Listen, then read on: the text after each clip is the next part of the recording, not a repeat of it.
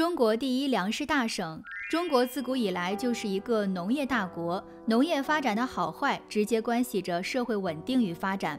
中国第一粮食大省是位于东北的黑龙江省，已连续七年粮食产量位居全国第一位。